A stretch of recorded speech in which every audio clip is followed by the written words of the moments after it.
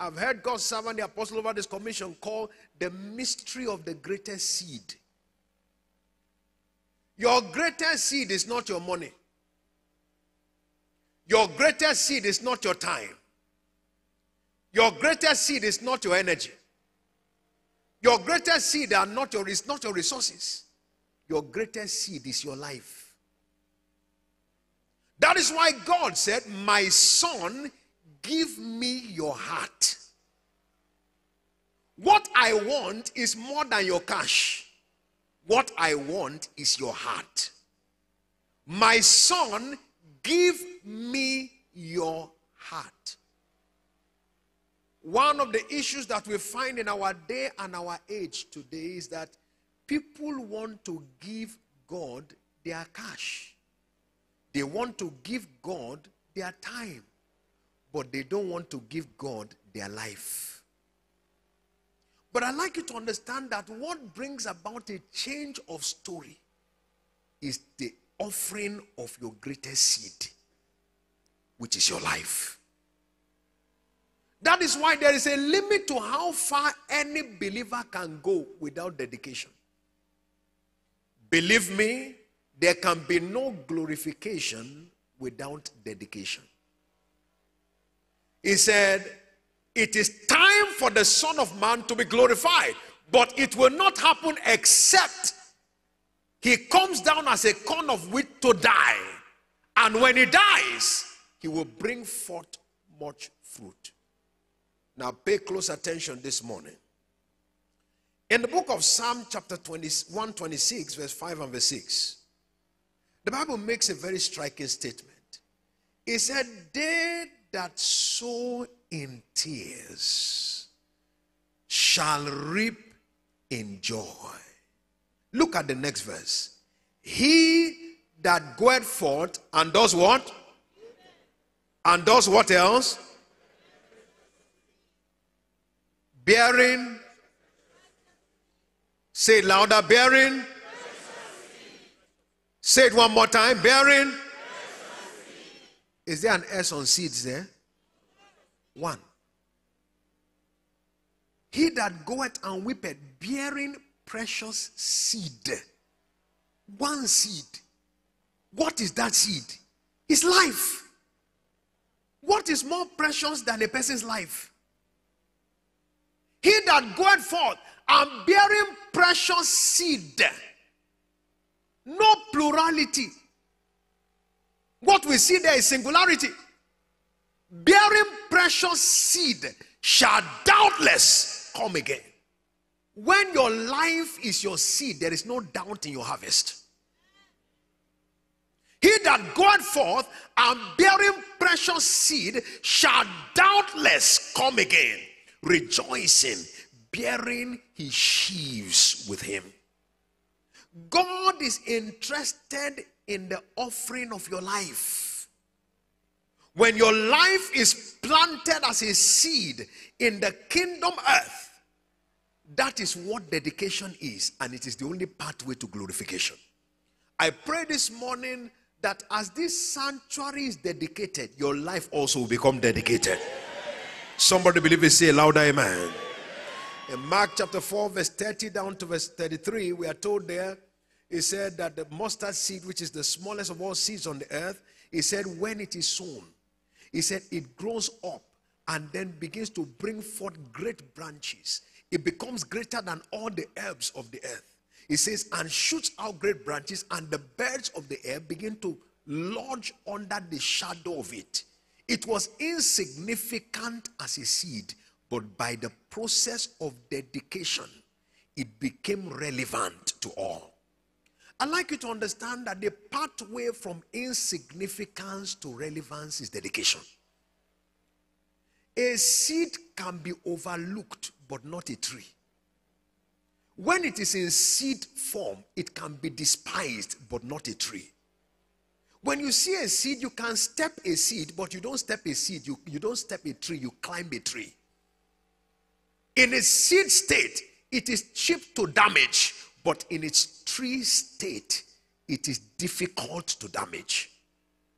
That's what happens when an individual's life is planted in the earth of the kingdom, suddenly what was insignificant begins to garner relevance. I pray this morning that as your life is dedicated afresh, I see your life begin to manifest divine relevance.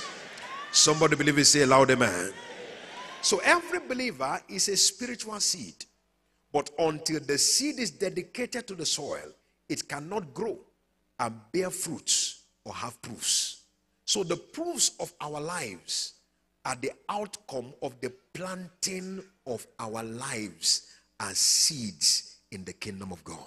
Please pay attention to this and pay attention to it very closely. i like you to understand that because you have one seed, you can only plant it in one place.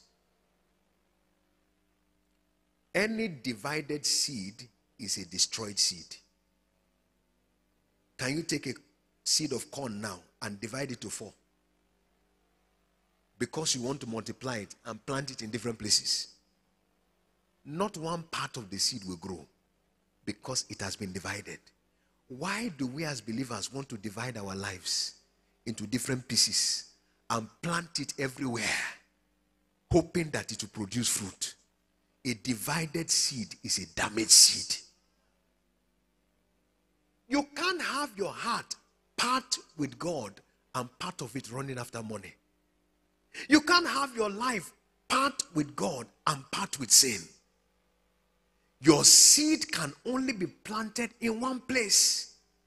When a man has one seed, it can only be planted in one soil. And the best soil to choose for the planting of your life is the soil of the kingdom. When it is planted in the soil of the kingdom, it is guaranteed to produce supernatural fruits. And that's what God is calling us back to order today.